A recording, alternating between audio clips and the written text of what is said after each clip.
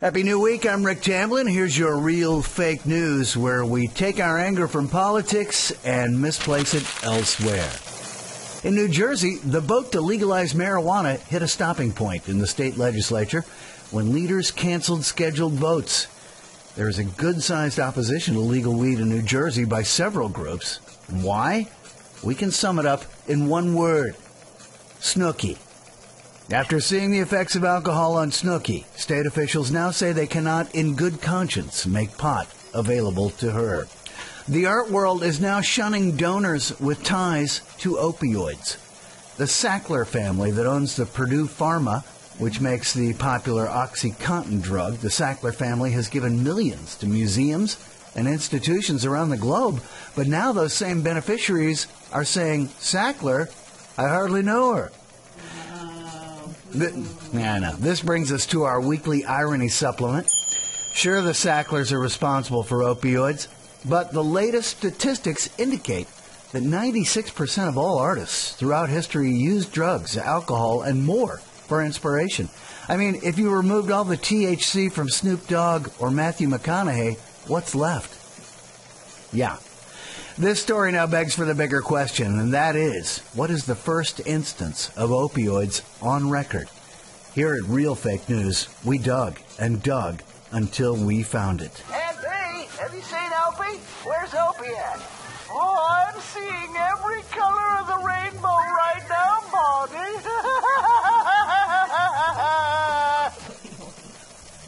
Singer Justin Bieber is taking time off after touring all the way through his teenage years and into his 20s. The 25 year old entertainer says he feels disconnected and is searching for answers about happiness. His godparents, the Sacklers, say they agree. and in entertainment news, like if that wasn't enough, former Spice Girl Mel B has revealed that back in the mid 90s, she slept with Geri Halliwell and added that Geri had great boobs. That's Ginger Spice and Scary Spice together in a hotbed of emotional wants and needs. And we're going to take a 13 second break to let that sink in.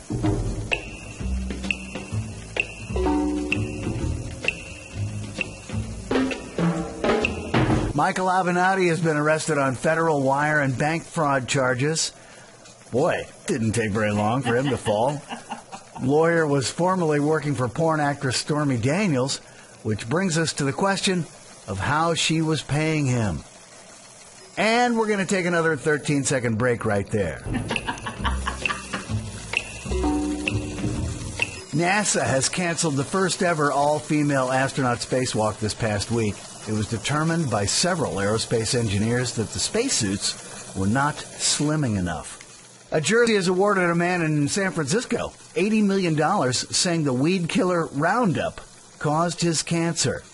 Roundup was evidently defectively designed, and Monsanto, you know, the company that's trying to kill us all, failed to warn of the herbicide's cancer risk. Beginning this summer, their new ad campaign starts. Roundup is the answer, and you'll end up having cancer, but there won't be any weeds left in your yard. The annual list of highest paying college majors is out, and according to the latest numbers, petroleum engineer is the best choice if you're all about the money or you enjoy looking under things for lubricants. Yeah, these these are the people that you want to invite to your next orgy. Uh, 183,000 by mid-career for petroleum engineers. Go looking for uh, go looking for Vaseline, I guess. If you're not all about the money, those people go into radio.